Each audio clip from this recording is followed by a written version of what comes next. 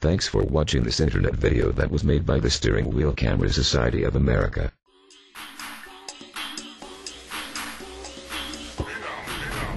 Hey now, we're storage rapping this morning while I'm sipping my iced latte that I got in a pairing at Starbucks today. It's like pairing. There's pairings everywhere. You go to a restaurant, you get wine or beer. You get beer paired with a cheeseburger. You get a shot of Jack Daniels paired with a cigar. You get coffee paired with a cinnamon cake swirl, whatever.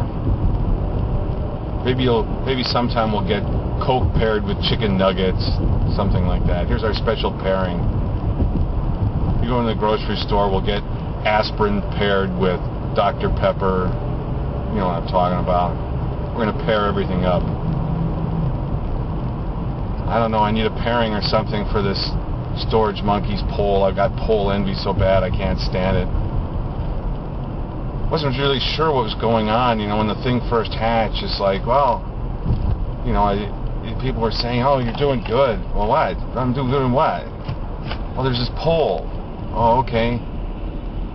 Well, I went to look to see at the poll and see how it was going. I didn't vote. I can't vote. I don't get that. I guess I went to look at the results and now I can't vote. And if I had voted, I might have something like 2% instead of 1% or something like that. I'm way down at the bottom. I am buried by all the EMC and NetApp guys. Just buried. Is there a little gaming going on there? No, no, no, no. Couldn't be. Couldn't be anything like that. I really kind of doubt it. I mean, you know, you storage monkeys guys, you wouldn't let anything like that go on, would you? I know you wouldn't. I mean, not that the fact that I can't vote or anything matters, but, you know, there wouldn't be any other gaming. You wouldn't allow that. I'm gonna have a piece of coffee cake here. I got a stop stoplight situation.